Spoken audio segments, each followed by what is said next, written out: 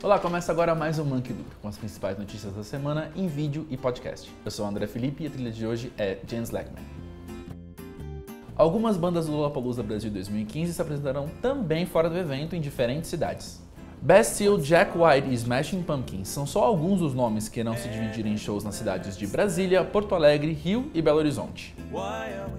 Vonikura é o nome do novo álbum de Björk, segundo um bilhete escrito à mão e divulgado pela própria cantora. O nono álbum da islandesa também teve os nomes de suas faixas revelados, mas ainda não tem data para lançamento. Por conflitos de agenda com a gravação de seu primeiro álbum, o trio Years and Years cancelou sua vinda ao Brasil.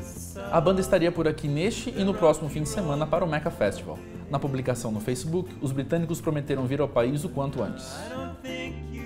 Já o cantor Chet Faker confirmou seu show no Rio de Janeiro no dia 19 de março. A apresentação foi viabilizada através de financiamento coletivo e acontecerá na casa de show Sacadura 154. Este foi o Monkey Loop dessa semana. Não deixe de ver também o artigo que publicamos com essas apostas para 2015 e de ver o Buzz Talk com o Thiago Petit comentando com a equipe Monkey Bus as principais notícias da semana. Inscreva-se no nosso canal para receber notícias sempre em primeira mão e até a próxima.